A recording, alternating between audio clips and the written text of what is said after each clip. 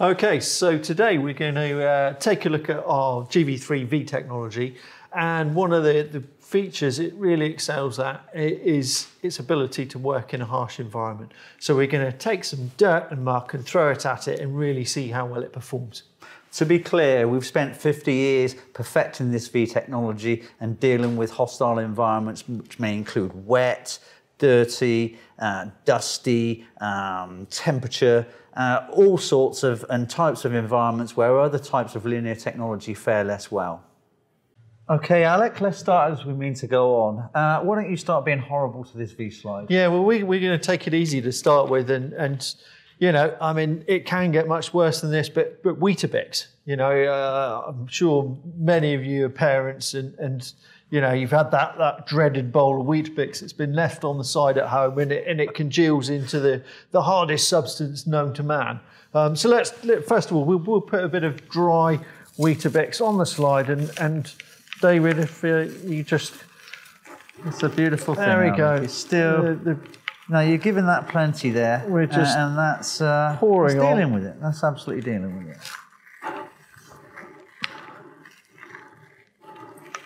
So there, GV3 slide versus Weetabix, no problem. Dry Weetabix. Give it a go, Alec. Okay, so we'll, we'll try a bit of sand now. Um, bear in mind, this, this is a fairly cruel test um, because in, in real circumstances, it wouldn't be treated in this sort of manner.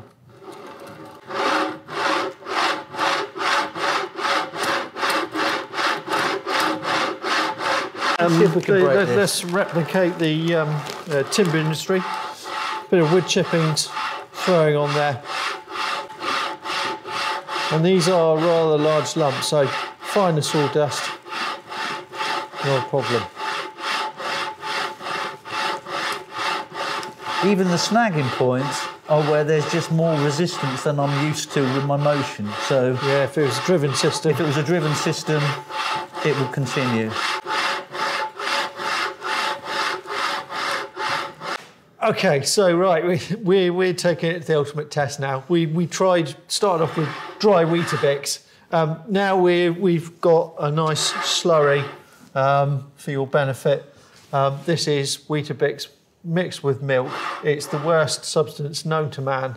Let's pour it on the slide and see how it goes. Wait for it. There we go. It's on there. V slide versus Weetabix. V slide wins, Alec.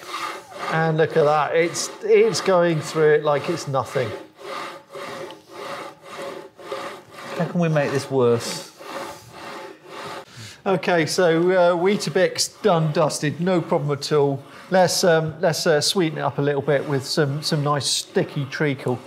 And as you can see, that's going that is going all up David's sleeve as well. But the GV3 slide is just laughing it off.